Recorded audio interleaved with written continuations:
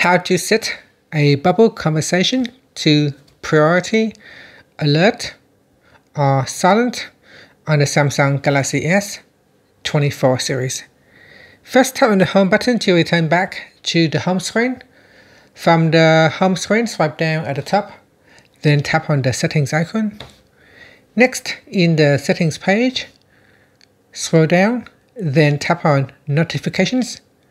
After that, we go down and tap on advanced settings.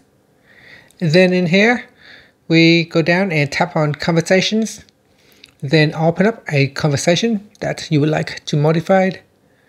And from here, you can set this particular conversation to priority, alert, or silent.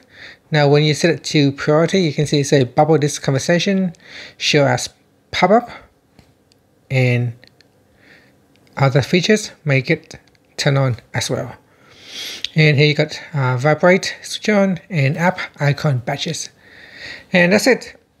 so that is how you can change the bubble conversations to priority, alert, or silent. After that, you can tap on the home button to go back to the home screen.